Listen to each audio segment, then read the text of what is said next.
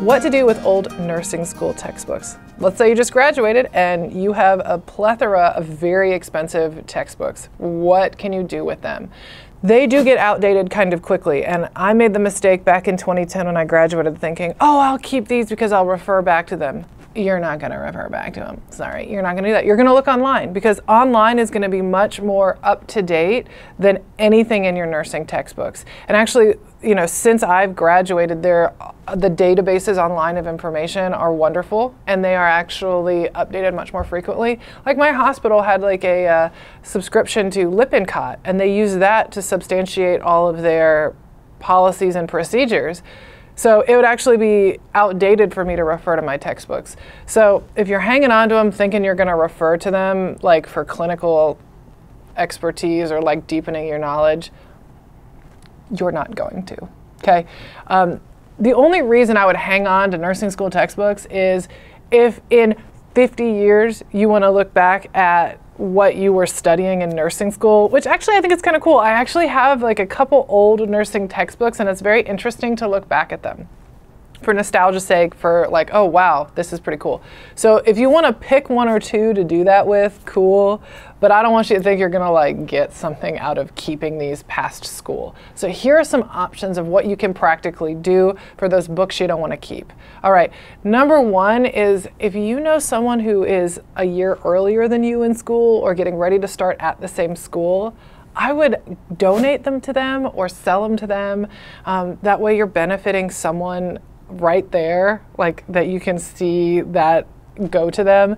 Um, and that's and then you're also going to save on shipping costs if you were going to try to sell it online. So that's a great one, especially if you know someone who doesn't have a lot of money and coming up with the money for these books is really tough.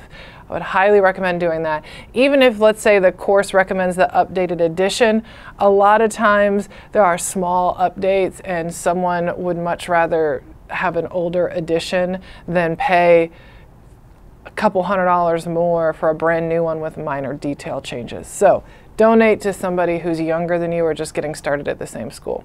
You also could sell them online too. A lot of people do that. Uh, you don't expect that you're going to get the same out that you paid for them if you bought them brand new. So that is an option to, to sell online. Um, you could burn them. I think I burned some of mine because I just I just needed to see them go away. So you could have a little bonfire, have a little event with the people you graduate with. I know people have done that. That's an option.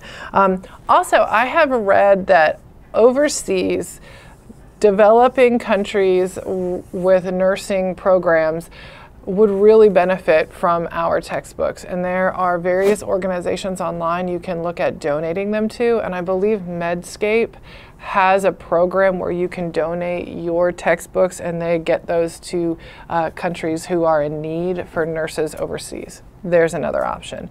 You can also donate them to a library, a to Goodwill, or even like if you have a local prison system, that, that is something that can be included in their library too. You're not going to get money back for them, but you know they're going to be um, somewhere where they're going to get used, um, they're not going to get destroyed, and it can help somebody out who can't afford that textbook. So those are some options for you to consider when deciding what to do with those God-forsaken nursing school textbooks. Just don't keep thinking that you're going to look at them in 10 years because you're totally you're, you're, totally not going to do that. um, if you'd like more tips and tricks about nursing, make sure you sign up for my email list. The link is in the description of this video. Thanks, nurses.